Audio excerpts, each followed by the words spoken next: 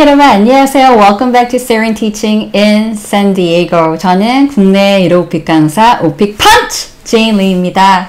네 여러분 새학기 그리고 상반기 취업 시즌을 마련 어, 맞이해서 어, 저도 여러분께 조금이라도 도움이 되어드리고자 이제 3월 13일 오후 3시부터 5시까지 어, 올해 2월 어, 오픽 기출 문제를 여러분께 좀 제공을 해드리고자 합니다. 제 동생이 이제 한국에서 오픽 강사예요. 레이첼 리 강사님 감사합니다.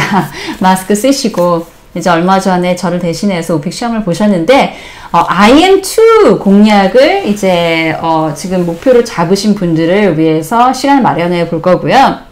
어, 영어 공부를 이렇게 어떻게 잘 독학을 할 수 있는지 그런 팁을 좀 제가 드리면 여러분이 이제 어, 오픽의 그런 경향도 공부하시면서 오픽 성적도 잘 내시고 또 다른 영어 시험 성적도 잘 내시면 네, 일거양득이 아니라 뭐 일거사득도 될 수 있지 않을까 기대를 해봅니다. 그러면 다음 주 토요일 날 오후 3시에 뵐게요. See you. Bye bye. Take care.